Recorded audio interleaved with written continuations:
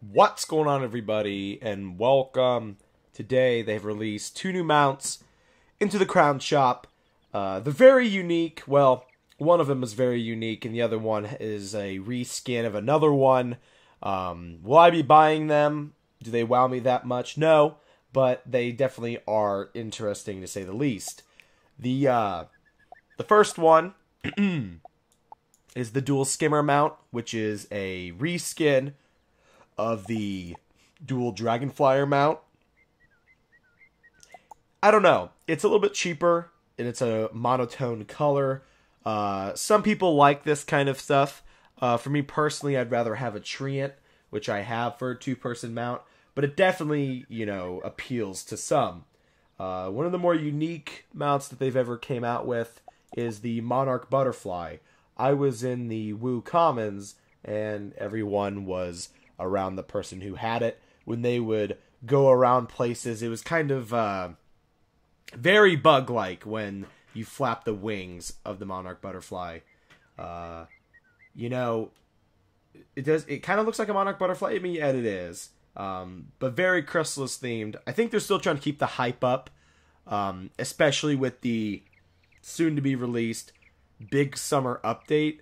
Um, and I wanted to talk about that as well in this video, along with the two new mounts. You can also buy one for seven day Monarch Butterfly uh, for 2,500 crowns. Um, but you, I don't think you can buy the dual skimmer mount for a, you know, trial or rental or whatever.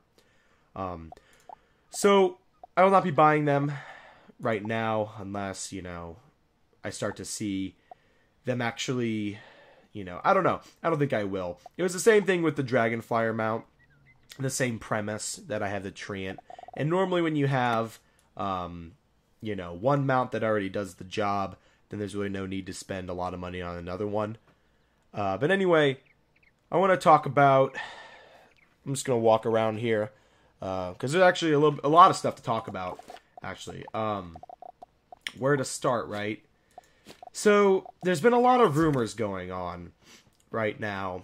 A lot of things I've heard, a lot of things that uh, people have heard on Central, uh, Twitter, you know, everything, right?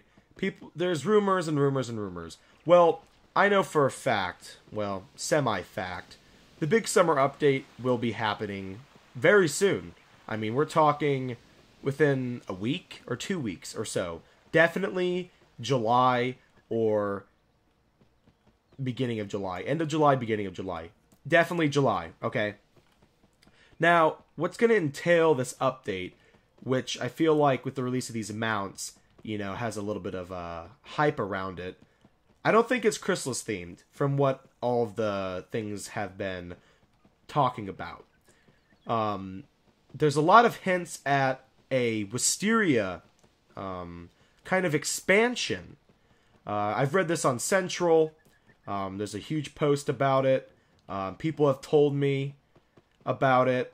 Uh, checked on Twitter about it. You know, there's a lot of sources, and normally the sources that I've seen have been always right with uh, what they've known. Even one of the, I think the program directors or some like Gary or I forgot his last name. Gary Scott is it? Uh, he's on Twitter and he's been talking about a few things, uh, trying to get people hyped. Um, and then there's also a lot of other stuff that I don't think uh, I think might be false and or um, things in the way future that I don't think I'm going to talk about because if I do, then it'd probably start uh, people freaking out of excitement and everything else that I don't think is actually true, but I don't know yet. There's a lot of speculations. As always with this game, right? You have to uh, fish out the ones that make sense. Uh, so anyway, Wysteria expansion. Um, there's been hype of possible new pets coming out. Uh, there have been notions to the fact that there are there is a level 100 dungeon with new gear sets like of Earth and all these other ones and blah blah blah. Uh, and notions that we are like the teachers and you know it's kind of like a similar thing to where it's going to be a dungeon possible of cheating uh, kind of like the tower of Helephant right uh, which which uh, i don't think gave sets of gear but i feel like that might be the case this time around that's my highest hope all right that's the highest hope of that rumor and different things i've been reading on central and everything else uh, and what I've been hearing. That's the highest hope, right? So you got that. Um, you got the gear sets that are rumored. You got expansion that is rumored. Uh, Wysteria is a very interesting place. I've actually come around to like the area. I feel like I'm always on the fence about it because maybe this expansion will give it new light and actually have more story and background to the place. Uh, to truly give it the recognition it deserves and make me open up my eyes to what maybe it holds. Uh, you know, but maybe not. We'll have to see. I've been disappointed before. We've all been disappointed before. Uh, so we're just gonna have to wait on the sidelines and uh, hope for the best, right? That's what we always do. Um, so, kind of just babbling on about I don't even know if they're rumors anymore at this point. I think they're kind of reality. Because the sources I've been seeing, and I'm sure a lot of you have read as well, I mean, it's a huge thread and different things that are going on and things I've heard. Um, so, anyway, speculate below. Um, hype for the new mounts. I mean, they're not bad. I mean, they really aren't. I think one of the most unique ones that they've ever created is the Monarch Butterfly, to be honest. Um, I think it's very interesting. I think it is. Um, so anyway, comment below what you think.